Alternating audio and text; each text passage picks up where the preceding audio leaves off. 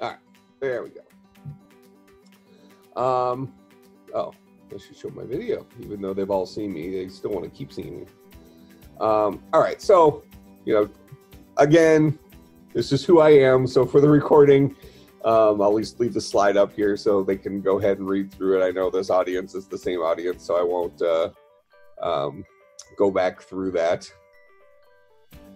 Um, again, same thing. What stuff does the department have? Same uh, stuff we had before, but uh, do read through this if you are one of our listening audience.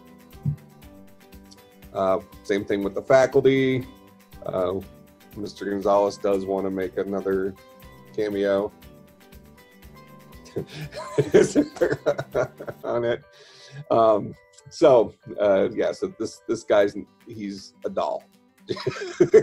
just just so everybody's clear on that, and I'm aware of that. All right, so our undergrad program in computer science, um, we have uh, it's a 54 total credit program. Um, so you have 14 courses in the technology core, uh, and I can go ahead and share that here real quick. And Mike, I don't know if you saw in the chat, but someone is interested in learning more about the Scholars Program. Yep, and that's on here. Great. On here. Uh, so let's see. Let me share this. And this one. Actually, let me share it differently than that. There you go. Um, okay, well, so I'll, I'll mention the Scholars Program here because it's right at the beginning. So this is our, our uh, flyer for the uh, uh, undergraduate uh, program. So we uh, we have a scholars program that for incoming students who have a 3.5 high school GPA and at least a 25 ACT or 1200 SAT, um, you can apply for our scholars program. Uh, and what this guy is, it's it's an aggressive program that allows you to uh, complete a undergraduate and graduate degree in computer science in four years for the cost of a four-year degree. So what you were going to pay for an undergrad four-year degree, you now get a master's out of that as well. Um, now, truth in advertising, you're taking really heavy loads. You're taking full uh, full loads every single semester, and you're probably going to also have to take a class in the summer and a class over winter um, several different times. Um, so it's aggressive, but you know if your goal is to uh, get the most bang for your buck, it's the you know the way you can accomplish it. And the reason we have the uh, academic requirements for it is you know we want to set you up to succeed when you come to Concordia and. Um, you know, not that GPA or ACT and SAT means everything, but it is an indicator of, you know, whether or not you might be able to handle that that level of uh, coursework. Um, you know, as opposed to, you know, setting yourself up to fail and, and maybe not doing well. Um, so in any case, that's the uh, uh, the deal with the scholars program. Now, all of our undergrad students can do an early start in the master's program, so they can kind of aggressively project towards that. So in their senior year, they can take up to four uh, of our graduate courses during their senior year, and that might be a little tight to squeeze in. So you you have to plan for it, um, but uh, that would allow you to get both degrees in five years. So you'd be mostly, and actually, it's even your the last semester. If you got four classes done during your senior year of undergrad, you would be able to do the masters in um, one and a half semesters. Let's say you would have the uh, A and B session of the next year, and then only the A session of the following one. So you can finish it um, a semester and a half, let's say. So still pretty aggressive if you want to take advantage of the early start, and that's open to all students. You don't have to qualify for that. You just have to work with your advisor to to schedule for it to make sure you have the openings. Um, so similar to our master's program, there's a technology core uh, that you take uh, for this is for all computer science majors, regardless of which concentration you go into. So the first two classes you take you'll take your your fall semester, your very first semester, uh, is 175. So this is kind of an overview of computer science, overview of all of our concentrations. So in that, you'll look at topics from software engineering, AI and robotics, cybersecurity, computer animation, and information systems. So it's kind of a survey of what we have to offer. So maybe by, you know, you kind of get a taste for what you might like and what you might hate and that kind of stuff. Um, at the same time, you'll also take our very first programming class. I'm going to talk a little bit about that uh, today as well. Um, so right off the bat, you're getting overview of computer science and you're getting programming one. I've never programmed before, so we assume you have zero programming experience, zero background, and uh, um, if you have some, that's great. You'll still learn something. Uh, like I said, I teach all the programming classes, and I've been doing this for a few minutes. So, uh, um, uh, one issue we have in uh, um, you know, I mentioned in the other lecture with, you know, that we like power tools and we're used to Google and things like that. So when you kind of self-teach yourself uh, computer programming, or you you had it in a high school class where you know typically high school teachers are cross-trained, right? You know, these are folks that are teaching multiple different subjects, and maybe they move into a a specialty or something like that. But even you know, they're having to teach themselves the computer programming stuff because they didn't necessarily go to school for that. You know, they they are trying to add a computer science program to the high school, so you might also not necessarily be getting all the behind the scenes details um, there as well. So one risk you have uh, coming into a programming class when you already have given yourself a background in programming is that you don't know what you don't know. So you have this perception that you already know how to program because you're pretty good at writing software with the tools you already understand. But since you haven't been exposed to some other tools, it's easy for you to assume they're not important when two or three semesters later, it'll come up that, oh, there was something that you didn't understand a long time ago that has now come to bite you in the butt or something like that. So I promise everybody will learn something in that class. Um, okay, so this is what you take right off the bat. Uh, 200, 250, and 300 are our programming sequence. So those are the, the three programming classes. This is coding one, coding two, coding three. Um, uh, everybody will take the first two programming classes, and then only if you are software engineering or AI and robotics concentration will you take the third one. Uh, everybody will have a computer architecture class, an operating system class, a software engineering. Um, this is like an ethics, computational dilemmas uh, type course. Uh, user experience, database, advanced database, and web stuff. Um, everybody does a giant capstone project the fall semester of their senior year. So this is a big 300 uh, hour project um, that uh, everybody does. You work with a client and you you knock out this big project and the idea is that it goes you know it's something you can put on your resume and use as you're applying for jobs to say hey i did something real here's a big big thing i did um, we also require an internship in the program so you uh, you know we typically recommend you start your internship like your sophomore year but we have freshmen who uh, do internships and you know I, I, can tell you there's no better way of learning than an internship. I think it's a, a truth to say that 90% of what you'll learn is not in the classroom.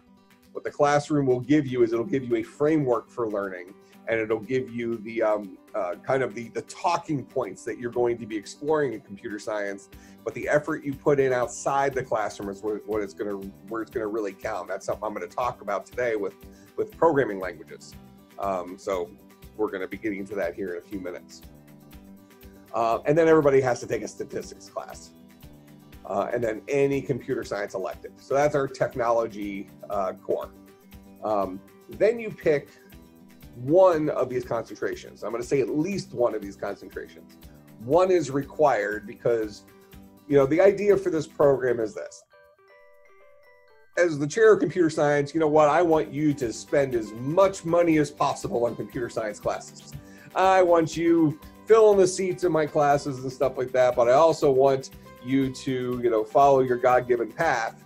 And, you know, one thing that sometimes happens in college is you get stuck into taking a whole bunch of classes that you may or may not be interested in, and you aren't given the wiggle room to maybe go and explore some other things.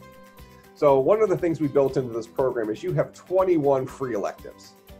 Um, now, what I hope is that most of you are interested in computer science enough that you'll just choose a second concentration and go and do uh, uh, a second concentration in computer science and use a good chunk of these 21 credits for that. But if that doesn't interest you, or there's some other areas you want to explore, like astronomy or psychology or biology, you know, whatever it is, you have seven classes that you can go and take that have nothing to do with the university's core and have nothing to do with computer science. So there's a lot of flexibility there for you to follow some of your passions that are outside of your exact degree program. All right. So that comes built in with our major is you have 21 free electives. We do not require you to do a minor.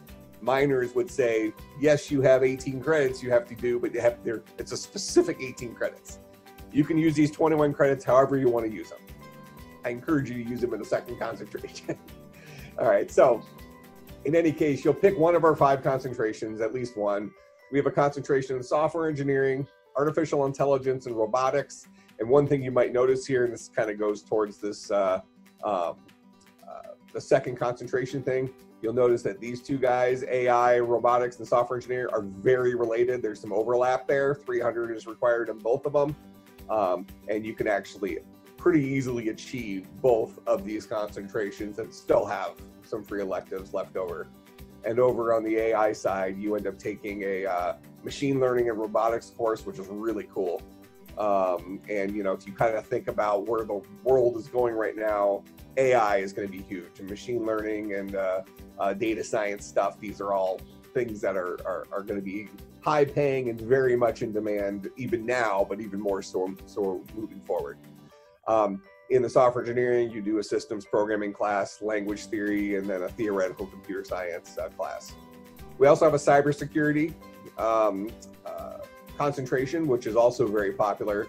Um, you know, and when you think about industry right now, cybersecurity is also a big deal. If you had to pick two buzzwords in uh, computer science industry, would probably be artificial intelligence and cybersecurity. Software engineering has been around for a while. That's not going anywhere, right? So maybe he's not the cool kid anymore, but he, he pays the bills. Um, but uh, AI and robotics are going to be a big deal. Cybersecurity is going to be a big deal. Um, those are huge up and coming and already here, so you're not going to hurt yourself going into any of those. We also have kind of a, this would be a very specialized type of concentration called computer animation. Um, we have uh, Dr. Wall in the department is uh, an expert in animation, really gifted. So this is something a lot of computer science programs would not be able to offer. Uh, so if you're interested in computer animation, making 3D models, 3D animations, uh, for like the video game industry or, or marketing or whatever. These are uh, pretty popular uh, classes for that. We get a lot of students who are outside of computer science taking these as part of their electives. And then our kind of our built-in IT major is information systems, uh, where you kind of dabble in cybersecurity, networking, and then some more programming. So this is really a hybrid degree of software engineering, cybersecurity, um, yeah, probably those two. And then some specialized cybersecurity stuff. In fact, actually, there's an oh no, here's penetration testing right here. Yeah. So there's multiple cybersecurity classes here. Penetration testing is a cool class that's uh, um, called white hat hacking. You are effectively learning how to be a hacker. Because the idea is if you're going to protect a computing system from uh, getting hacked, you have to know what the hackers are going to do. So ethical hacking, white hat hacking is the, the idea there. So in any case, that's our undergraduate uh, uh, program in computer science. So we do have more concentrations in the undergrad program than we have in the grad program just because of the nature of it. Um, but that's the, uh, the scoop um, with that guy. So as I bring up my slides again, does anybody have any specific questions about the uh, uh, undergrad program before I move just, on? Two things. One, they wanted to know if um, they could um, have two, at least two concentrations, which you've already answered. Yes, you certainly you can. actually fit three. If you're strategic, you can get three in there. Ooh, he, you go up to three. That that brings a lot more flexibility in. And then also, I you guys have a hackathon club. Do you head up the hackathon club? Uh, well, I'm the faculty advisor for the hackathon club. We have a student. I mean, so the club is a is a student run organization. So uh, this year, the student was Josh Appel. Um, next year, I think it's Jonathan Yakima is the the head of it, but it's a student who runs it, but it goes through the department. And uh, the Hackathon Club, they uh, they travel around the country. Uh, well, we do we hold our own local hackathons, and then we also uh, um, go to some of the other hackathons that are in the, the, the bigger areas, so Milwaukee, Chicago, and uh, Madison. Um, but we've also traveled around the country. We've gone to New York City for hackathons. We've gone to Raleigh, North Carolina for hackathons. Um, so big doing big road trips, things like that. And if you aren't familiar with hackathons, they're effectively programming competitions where you uh, you go there, you they give you some sort of criteria. You spend 24 hours straight writing some software uh, that does something. And the way we do it is we build we we create the teams before we go there and we try to uh, we encourage all of our students even your first semester beginning programming student to get involved in that kind of stuff because you like i said earlier um, you know 90% of what you're going to learn you're going to learn outside the classroom. So that 24 hours you learn a lot uh, even if you're just chair surfing or shoulder surfing right? So we try to create a group that has maybe a couple of upperclassmen in it and then a couple of freshmen sophomore so you know the beginners and then the more advanced students that used to be the beginners and because uh, we want you to have a good educational experience not necessarily be on a team that wins um, you know it is what it is but we want these to be great learning experiences um, because I'll tell you what, you know, you you win the uh, the wireless keyboard or something like that at one of these things, you know, life will go on if you don't win the keyboard. Um, you know, sometimes the big prize is like an Xbox or something like that. Um, and there is a big competition that we've done, which was like a hundred thousand dollar grand prize and stuff. But I mean, in general, they're educational experiences. Um, about how to work under pressure. Wow. Yeah, but I mean, even then, I mean, you, you know, you go in with the idea that the chances of winning are, are relatively low because it, it's it's very arbitrary. You know, it's not like it's a very strict point system. You have a panel of judges that they listen to your pitch at the end and decide, you know, was it something that they liked personally or not. So you might have a team that did something technically the best, but didn't come their presentation didn't make it sound as as enticing or something like that. Sensing a, I'm sensing some emotion there, some history perhaps. Uh yeah, but I've always looked at it as an educational opportunity. You know, you create your you create your own successes. I don't think you need to win through uh um, hackathons. I think students should really view them as educational opportunities and not a way to get prize money. Um, there are actually p- people whose entire careers they travel around to hackathons around the country as like a team of people that are you know like professional developers specifically to win cash prizes at hackathons. It's like a you know that that's how they make their living and, and that's great there's nothing wrong with that so you got to consider as a student going into these things that you're going to have folks like that at these things. So your chances of winning aren't necessarily great, but your chances of learning are 100%. You know, and so you win every time if you look at it that way. Okay.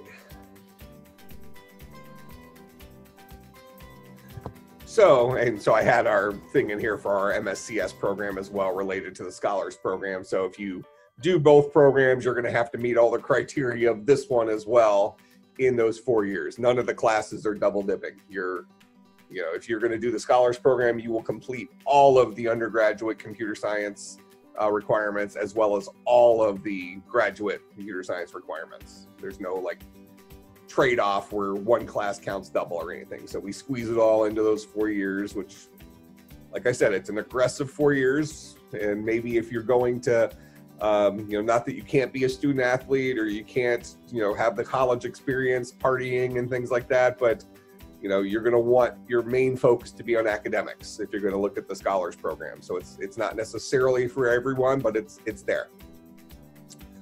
Um, okay, so what I want to talk about for a little bit today is this idea of computer programming. Now, if you're in the last session, I kind of talked about, you know, I mentioned computer programming, but I talked about it from the perspective of, you know, using the right tool for the job and specifically talking more about the low the low level hardware of the operating of the computer talking about we're talking to the cpu well in this case i want to talk about the next level up right so as a human being so i used the example earlier that you know as human beings we, we have 20 plus years of experience talking to other human beings. Um, so what are we going to do? You know, when, when, we go up to a human being, we immediately agree upon a, um, you know, a, a, language, right? You know, so if, if, I'm walking into a room and you're going to talk to me, we have to agree upon English because that's all I speak. Okay, so we choose a communication protocol. In, in my case, it might be English. And we're already practiced at talking to other human beings. So we're going to have that discussion with uh, other human beings using English as the communication protocol. Now, in the previous session, we talked about the language that at the end of the day, the computer only speaks binary, it only speaks zeros and ones. So, one way or another, if a human being is going to talk to a computer, it's going to have to translate from what we say down to zeros and ones. We can either do that directly, which we don't want to do. You're going to have classes where we do do that to prove that you have a competency in it so you understand what's actually happening at the at the computer level because as a computer scientist we need to understand those things and it is fascinating. But it's fascinating from the perspective that's maybe not something we want to spend our daily lives doing. Instead we want to create power tools that live between us and that computer hardware that allows us to express ourselves more efficiently um, to the computer and then let some other tool that a computer programmer probably also created uh, translate that into the next level down, which translates that into the next level down. So from a programming language perspective, we write stuff in a high level programming language. It then goes through a, a compiler or interpreter, which converts it to a low level programming language. And then it goes through an assembler, which converts it to a uh, to machine language, and then it goes through a linker, which makes it into an executable that runs on the actual CPU. So there's several different layers. You can think of it like a filter, right? If you have a water filter at home, you dump, you know, whatever water came out of the faucet or, you know, has minerals or whatever bad stuff in it, let's say. You dump it into this filter and it goes through a whole bunch of layers until it finally comes out as presumably clean water. Okay? Same thing's true here we program in a you know the, the human-like way and then we pass that code that we wrote through a bunch of filters and ultimately it spills out as zeros and ones all right but and some human being had to write those filters had to create those programs but once they created it we can now operate at the uh, the high level i used the example of automatic versus manual transmission in the uh, the last talk and you know same thing i mean we don't appreciate some of these things unless we've had to use some of the old way of doing things. I mean, um, you, know, you, talk to your uh, your your grandparents, maybe your great great grandparents uh, for uh, this age group. Um, you know, back then, you know, when they wanted to start their car, they had to get out in the rain or whatever and crank it in the front. Little handle, they had to crank the front of their car just to get the, the motor going. They didn't have this little electric turnkey ignition uh, ignition thing. That didn't always exist. So you think about something like that we take for granted today, where you, oh, I just get it and I turn the key. You know, now we, we don't have to get in and turn the key. I keep my keys in my pocket because it is like a wireless thing. I could start my car from my house. I can actually start my car from anywhere I want. I can start it from an app. Um, you know, it's in the winter. I get up and I'm like, oh well, I'm not going to brush the snow off my car. I'll just start it an hour early and let it and let it heat up and, and melt the snow off. Um, so, in order to appreciate all these newfangled things, we kind of have to know where we came from. Um, so, you know, that's that's kind of the idea here is that, you know, it's not that we don't want to appreciate uh, computer, uh, uh, you know, the, the computer itself, that CPU. The CPU is such an important part of our lives as computer scientists. That doesn't mean we want to talk directly to it as computer scientists, we should be able to talk directly to it if somebody forced us to. Every now and then, we might need to go in and tweak something because that's we're the experts. We might we need to tweak something and actually have to operate at that level, but we're operating at operating at that level for a very small window of the computer application that needs to be like extra fast or something like that. A majority of our time, we're spending up at a high level programming language level writing code that ultimately will get translated into zeros and ones by another program. All right. So, a statement programming is a skill set. The language doesn't matter. I mentioned this before. Same thing's true today. I gave the example about our natural languages as humans, whether we pick English, Telugu, Spanish, Portuguese, it doesn't matter. All of those languages are equally good at communicating with other human beings. We pick the language that's the right tool for a job, and when we're talking about human beings communicating, we pick the language that both people are proficient in, uh, or most proficient in, let's say, um, and we hope that we can get the point across. Uh, with computers, we a programmer might pick the language that they're most comfortable with. Um, but I actually make the argument that as a programmer, you have the computer programming skill set already. So you might tend towards languages that you've used before, but you shouldn't do that out of out of hand instead of saying, well, I'm going to need to use these couple of interesting features to solve the problem I'm going to solve. Are there some languages out there that have some innate conveniences related to those features? If I need to do a lot of networking, um, you know, talk or something like that, uh, maybe there's a couple of languages that have uh, uh, some convenient tools built into them that make something like that a little easier than some other language. So because you already know how to program, it shouldn't be a, a giant stretch for you to say, well, I'm going to take this language that I've never used before, I'm going to pick that as my development language for this because it's going to allow me to solve that, let's call it the difficult part of my problem a little bit easier and I'll learn that new language pretty quickly. Again, because programming is the skill set, not the, the language doesn't really matter. All right. Um, so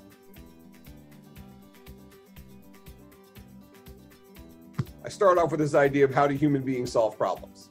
Okay, we're professional problem solvers. You know, in fact, most of us are so good at solving problems that we have trouble articulating how we solve them. You'll see that here in a, in a few minutes. Okay, so I try to abstract the way that you know human beings solve problems. We could sit there and debate it and probably come up with some other approaches or something like that. But you know, in general, human beings we lose, use our memory. We ask a lot of questions, and we do repetition. All right.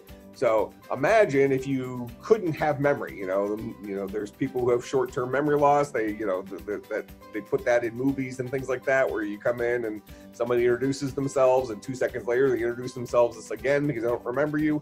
If we didn't have our memory, um, it becomes a very debilitating thing. It's something we rely on for our problem solving, even though many of us just take it for granted, right? And even though some of us might say, "Oh, I don't have a great memory," all of us have wonderful memories in the big scheme of things, right?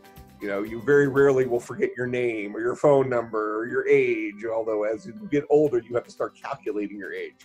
You know, stuff like that. Um, or you got to count the rings. one, one, one of the two. Um, you know, but the, the, the idea here is that memory is something that we heavily rely on for solving our problems. We also ask a lot of questions. In fact, we're so used to asking questions, sometimes we don't realize we're doing it. Day one of class, I usually ask the students, you know, how many of you got to class today without bumping in any walls? Something like that. And you get the couple of students like, oh, yeah, you know, I bumped into walls. But when you really look at a, a community of people out there in malls or in the hallways of the school or something like that, you know, they, they're they're staring at their phone, texting and stuff like that, or playing a game while they're bobbing and weaving in and out of people, right? Okay, think about what what's happening at that level. You know, not only they so they're walking. First of all, how complex is walking? It's incredibly complex. You got all these different muscles that have to fire in the right order, and you're you got to keep yourself from falling over to the left and falling over to the right and falling forward and falling backwards and and uh, you know all this stuff. So you know, just the act of walking is something that we're so good at as human beings, we don't even think about it. You know, if you tried to teach somebody else how to walk, you you it would be a very difficult thing because we don't think about how to walk, we just do it. We've been doing it so long and we're so great at it, we have trouble articulating how we do it. All right. And as you're walking down the hall, even though you're staring at your phone, playing your game or texting people, whatever it is, you're constantly asking those questions. Am I going to fall over to the left? Am I going to fall over to the right? Am I going to hit somebody? Do I need to change my, do I need to shift my weight every so, ever so bit just to get myself angling towards the right? We don't even recognize that we're asking those questions but as we kind of glance around as we're as we're going we are asking them and we're answering them and we're responding to those uh, uh, those results um, by shifting our weight, by changing ourselves, by glancing up, whatever it is. These are all things that we do, but we're so good at it. We do it so passively that we don't even recognize that we're doing it. Um, and then we use a lot of repetition, right? So we repeat a task over and over again until some problem is solved. So what I'm saying here is that if we were to abstract down the way human beings solve problems, we solve them using these three things, let's say. Now, what I'm going to tell you is that 100% of programming languages, and this goes back to this idea that programming is the skill set, the language doesn't matter. 100% of programming languages will have facilities for these three things. It'll have a way of dealing with memory, it'll have a way of asking questions, and it'll have a way of doing repetition. Every one of them.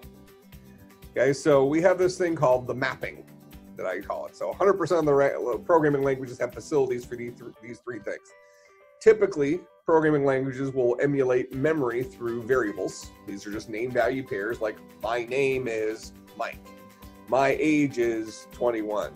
If you believe that, um, you know, so on and so on and so forth. All right, so um, um, asking questions. We usually do this through something like a called a conditional, an if statement if this is true, do this. If this is false, do something else. Um, so that's built into every programming language. We also do repetition through loops. You know, as long as some condition is true, I'm going to keep knocking on this door until somebody opens the door. So while the door is not open, I'm just going to bang on it. That's what I'm doing. All right. This is repetition that's also built into our programming languages through for loops, while loops, do while loops, for each loops. Um, we also have something called functions, which are reusable chunks of code where, you know, if, uh, um, you know, all of us have all these little abilities in our head that we know that we take for granted. If I said, "Hey, what's five plus three? You know, you'll say, "Oh, that's eight. and I say, "Oh, what's two plus two? Well, so that's four. So somewhere in your head, you have this little facility for like adding two numbers together. Okay, I give you two numbers, you spit out one number as the result of those two being added together. That's a function.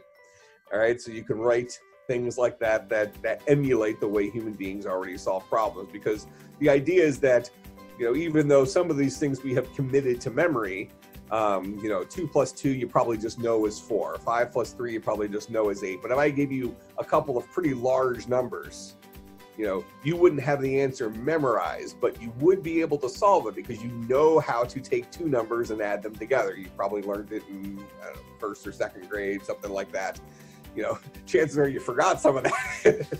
you got to go back and uh, remember remember how it works. But you know, the point is, is somewhere in your mind you have a facility that, given two numbers, add them together, you can work with any size numbers.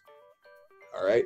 So those are our functions. So 100% of programming languages will have facilities for mimicking the way human beings already solve problems. Remember, the job of the programming language is to allow us to talk to that CPU. Okay, so this guy is the tool that says, hey, you know what? You're human. This is how you already solve problems. I'm going to give you the necessary tools to translate how you already solve problems into something that the computer will ultimately understand. Great. It's a power tool. Programming must be easy. No big deal. Everybody can do it. All right, now I already alluded to this. Why is programming hard? Well, I asked you, how do you walk? All of us would have trouble explaining how we actually accomplish walking. How did you get to class today without banging in any walls? Well, I just did. As human beings, we are so gifted, we are so good at solving problems that we have a lot of trouble articulating how we solve them. How did you get to class today without bumping into any walls? I just did.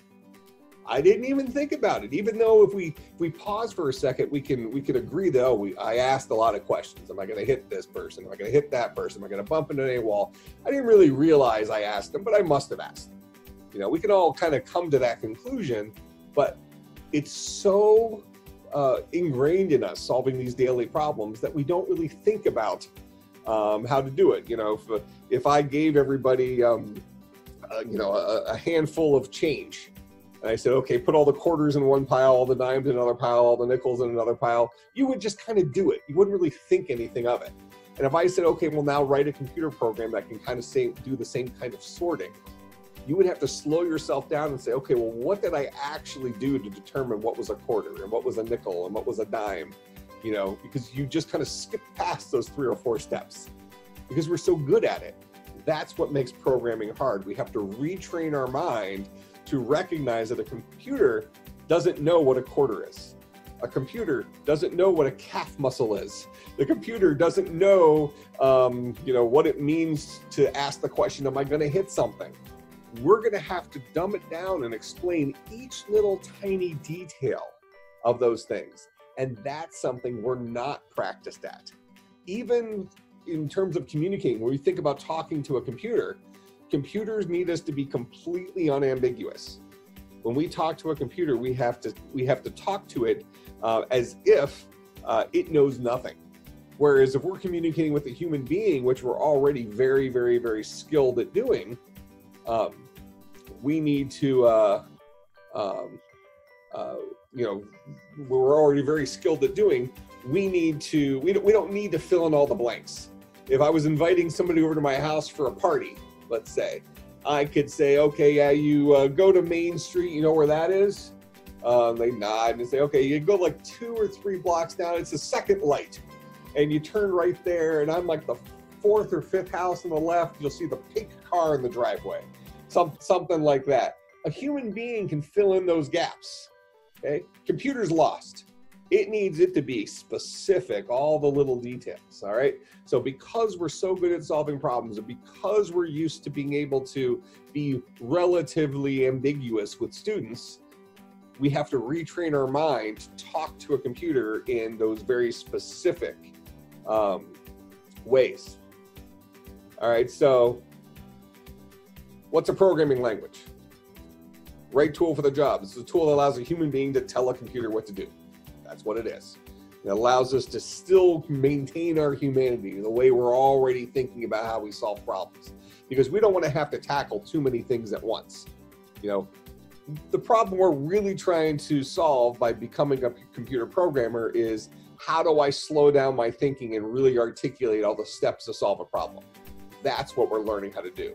We're not learning Java or Python or C++.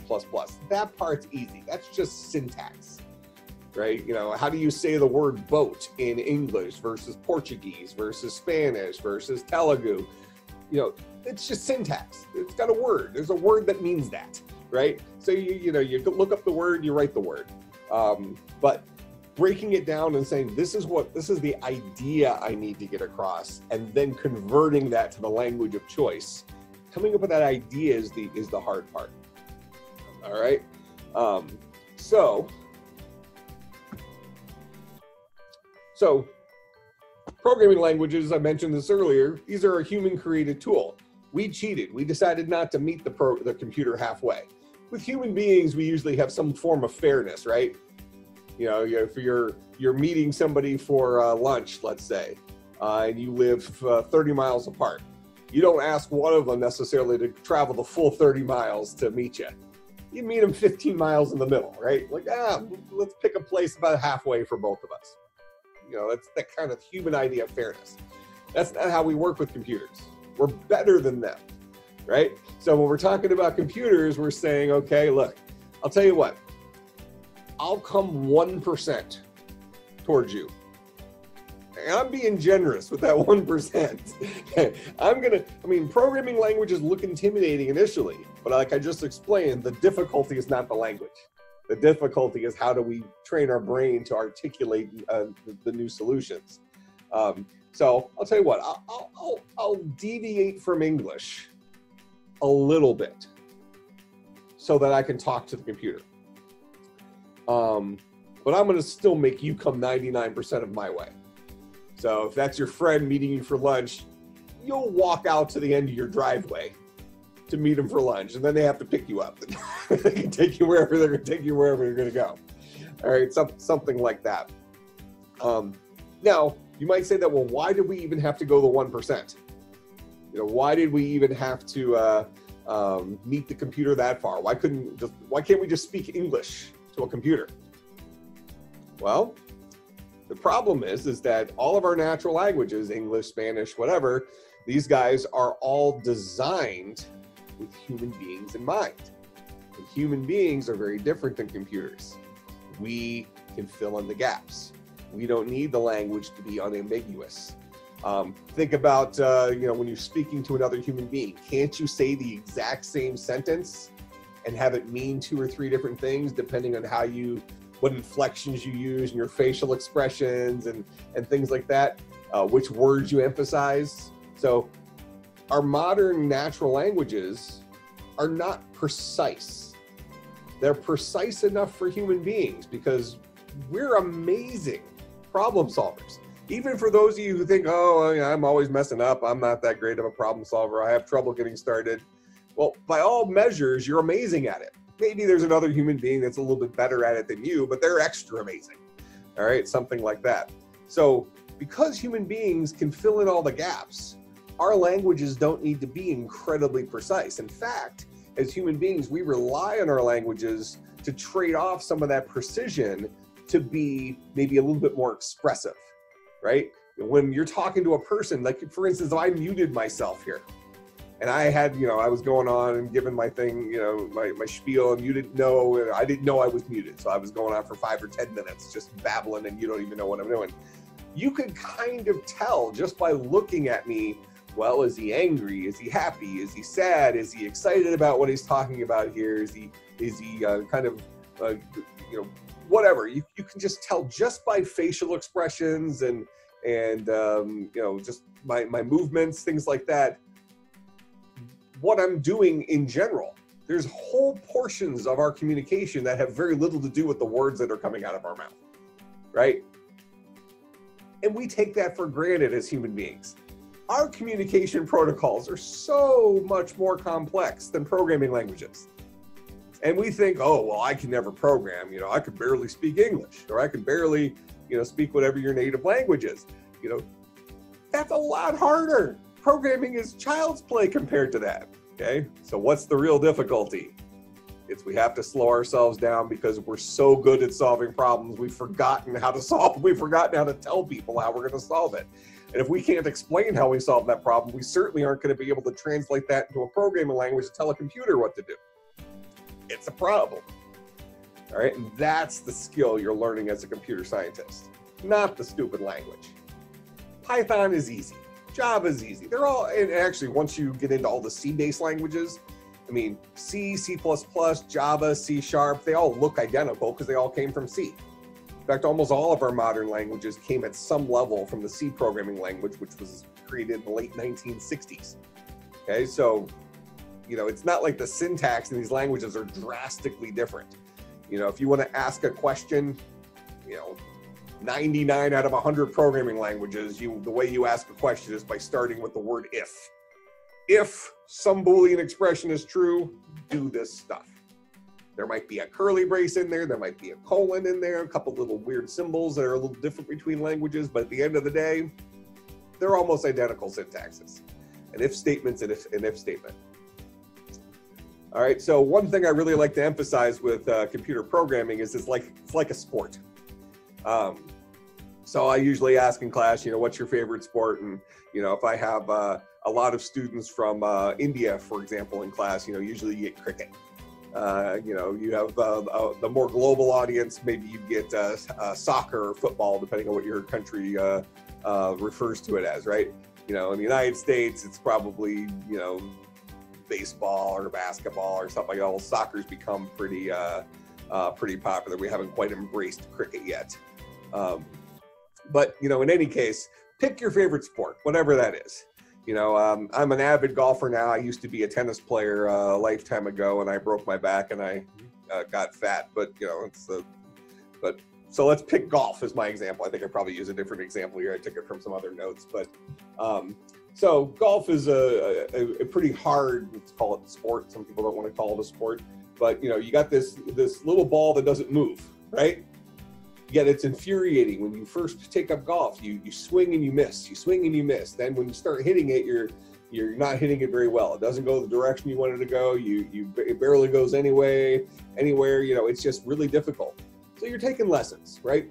And so I walk up, I say, okay, well, this is what the golf grip looks like. And, you know, here's a pitching wedge, and this is how you hit a pitching wedge. And I go and I swing it and I make it look easy.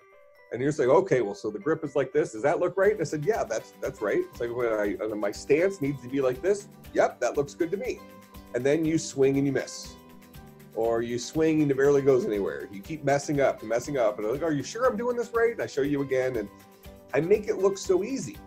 Well, when I first started golfing, I wasn't any good either.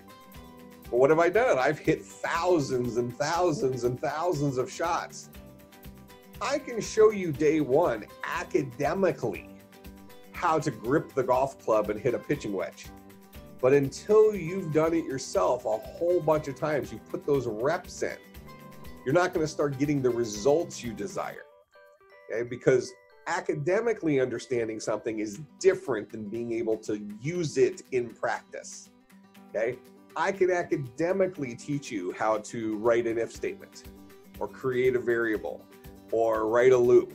But until you've done it enough times where you kind of got, got the syntax, but you've also solved enough problems using those tools that you kind of know, like, okay, I'm going to need an if statement here because I need to ask a question about something. I only want to do this to these two or three things if a certain thing is true. You need to have put those reps in. What ends up happening for um, uh, beginning programmers is they will understand the correct answer and be able to read somebody else's code significantly ahead of when they'll be able to write it on their own. You might spend four hours working on an assignment and not get it working, and then I come in and I solve it in two minutes. And like, that was it? Well, yes, that's the same thing as hitting that pitching wedge. Eventually, you'll solve it in two minutes as well. Okay.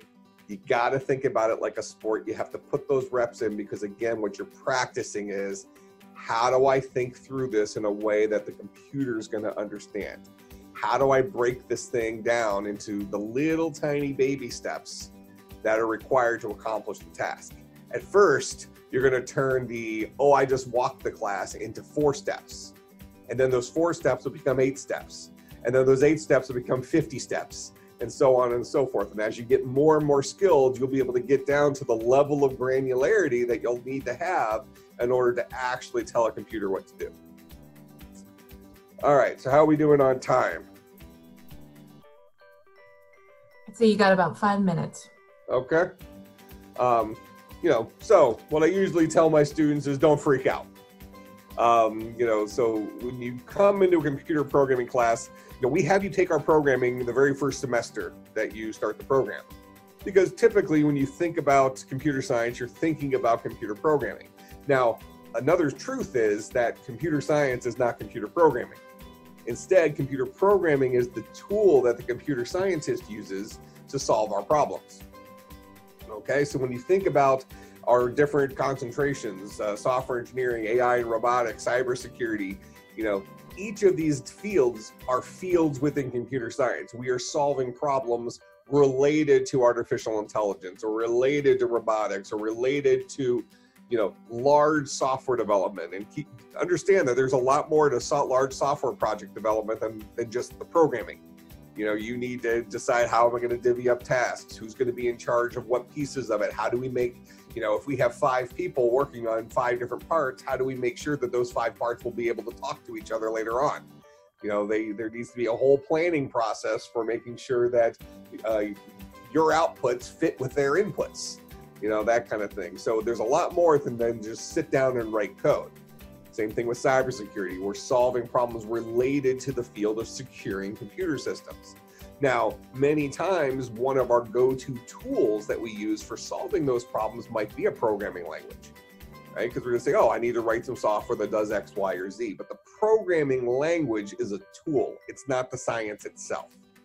Okay. Just like human beings, when we talk to each other with English, you know, the problem we're solving is not the English. We're saying, hey, do you want to go grab lunch? Or we're saying, you know, hey, what time are you uh, uh, going to be at the school? You know, whatever it is. The pro- we're, we're gathering information about a problem. We're going to solve a more specific problem, like, you know, we're building a shed or something like that. Um, you know, we're working together and say, okay, well, why don't you uh, go ahead and dig up the dirt here for the foundation? um, and start mixing the cement, let's say, and then uh, I'll start building the sidewalls. You know, so you you know you're now solving the problem by divvying up tasks, and now you're grabbing the right tools for the job. You know, the guy who's pouring the cement probably not going to need a hammer. The guy who is you know making the sidewalls is going to need that hammer. But the guy who's pouring the cement is going to probably need the hose to put some water into it. Um, so you got to kind of grab the tools you're going to need to solve your portion of the problem, and you're going to go and solve it. And you're going to bring those solutions together to ultimately uh, problem.